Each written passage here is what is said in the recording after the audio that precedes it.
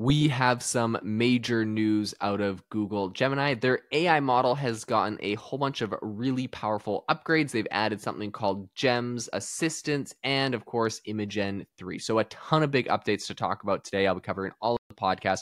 Before we get into it, I wanted to let you know if you have ever thought of starting a podcast or you have a podcast and you grow it bigger, you need to take my podcasting course. I've recently launched a podcast course that takes you through every step of starting a podcast from start to finish. Um, everything that I have learned in the last five years of podcasting, I have made a ton of mistakes, and most of them I would not wish for you to have to repeat. Um, there's things that I've learned. I've spent you know tens of thousands of dollars on gear, equipment, building an entire podcast studio and production team uh, for my podcast and for a lot of the stuff that I work on. So if you have ever wanted to take a start a podcast, grow it. I have a course that teaches you everything I learned in starting my podcast, how to grow from zero and how I got to 4 million downloads, was able to raise hundreds of thousands of dollars, grab thousands of customers for my businesses.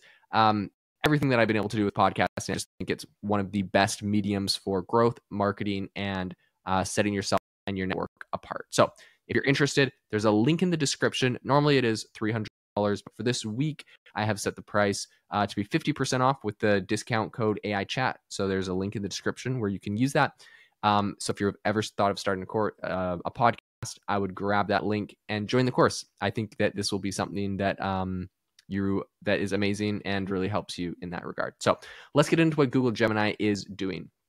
First thing i wanted to bring up here um, with everything that they've announced, they had a whole of uh, Tuesday announcements on some really new significant updates that they've been doing. Uh, Logan Kilpatrick over on X, he's you know works with their uh, head developer relation team, and he's been tweeting out a bunch of really uh, amazing updates. The first thing I wanted to talk about is something that they've introduced called Gems. So Gems over on Google Gemini essentially is uh, one of their latest innovations that I think is quite interesting. It's essentially it's custom AI experts, um, or kind of like agents, I guess. So you can have these pre-made gems. Essentially, it's kind of like Chat GPT's. Um, they're GPTs. You have desk researcher, code reviewer, uh, French tutor. So they, they call them gems. So they're essentially like experts, but it's a lot to me like it's a lot like the the GPTs that uh, OpenAI has. And you can essentially start with these pre-built gems or these pre-built and use them to kind of start working on things right away. Um, you can search for them and find them, or you can just uh, you know go and and scroll around and kind of get some inspiration on things that you would want to use ChatGPT or I mean I guess sorry Gemini for. Now also very obviously famous for their enterprise use cases. Um, this is something that they've put a big focus on, especially with Logan Kilpatrick over there working on uh, developer relations.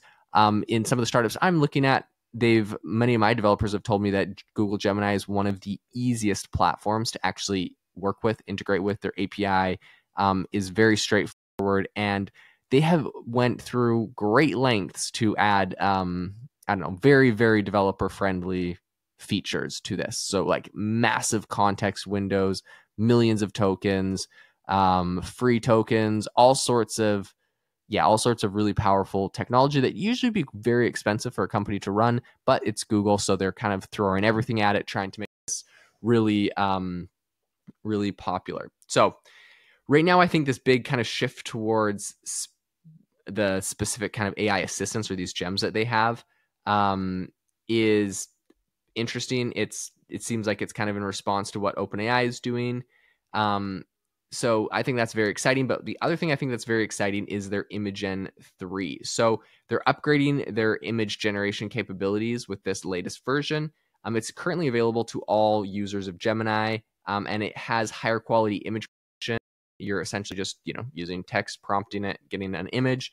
Um, and they are also including human image generation, although they do have some restrictions. Previously, I think they're, you know, they weren't quite well, they, they had a lot of controversy with previous image models um, and generating historically inaccurate images. So if you asked it for, you know, a World War II soldier, it was going to generate, uh, you know, a World War II German Nazi soldier, it generate like a black person. And obviously that never existed back then. So it got a lot of controversy, flat, uh, you know, went viral for a lot of reasons. And I think because of that, they kind of pulled some of the image generation capabilities for humans.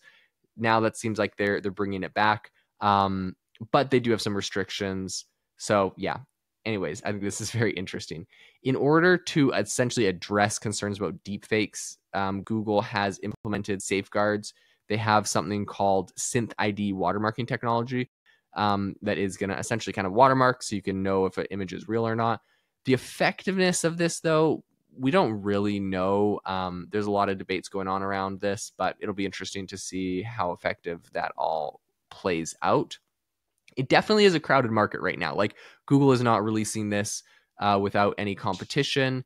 There's been, you know, very similar products and things coming from uh, OpenAI, Microsoft, Meta, Anthropic, Hugging Faces. They are all building kind of these customizable AI chatbot platforms. So I think that, you know, their new gems or their GPTs are not completely a new thing. Um, Imagen 3, I think, is really where they're hoping to catch up um, and maybe pass some of their competitors. Not everyone is doing image generation. But that being said, you know, even companies like XAI, you know, on Twitter uh, using you on like Grok, their AI image thing over on X, um, they don't have their own image generator, but they were able to grab uh, open source image generation platform and embed it into Grok and essentially use that to um, you know get image generation right in their model without having to develop it themselves. So Google's trying to you know get past everyone and come up with something new and uh, unique by having their own image generator, which is fantastic. But I just think that um, some of these open source ones are so good right now that I don't really know if it's actually giving them that much of a competitive advantage because all of their competitors can essentially just do what XAI did and grab some of these open source models that are powerful and then they immediately have image generation inside of their text models as well. So I think that's going to be really interesting. Um, Google is definitely making a big push. I'll keep you updated on everything that they roll out um, as far as the quality goes overall, I think that you know I would not count out Gemini, especially with some of the developers they have over there. Logan Kilpatrick is doing a phenomenal job. If you're interested in what's happening over at Google, I'd follow him on X to see what's going on. And again, if you are interested in starting a podcast, check out the link in the description. I'd love to have you as a member of the course. And this week is a 50% off discount. So if you're interested in doing it, now would be the week. I hope that you all have an amazing rest of your day.